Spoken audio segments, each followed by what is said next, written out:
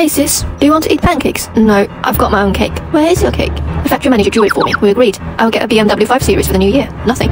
Look at the way you work. BMW 5 Series? I don't think it's possible. Look at the hydrophobic layer of the film you made. I really didn't mean to make it. Uh, what I do is just a microstaining film. You can test. I'll see how you did. If you did poorly, you can go away. First, wipe the phone. Clean with a wet paper towel. Then wipe dry with our dust-free cloth. Where there is dust, you can use the dust removal sticker to remove it. Take out our curved microcrystalline film. Peel off the release sticker inside. First, press against the round hole. Align with the top and push evenly.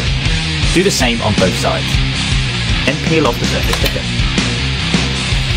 It's done. You see, no matter what, it will align perfectly. This hydrophobic layer meets our standard. Let me check my fingerprint. Fingerprint unlock function is normal. Touch sensitive. With no broken or warped edges, this film is a great product.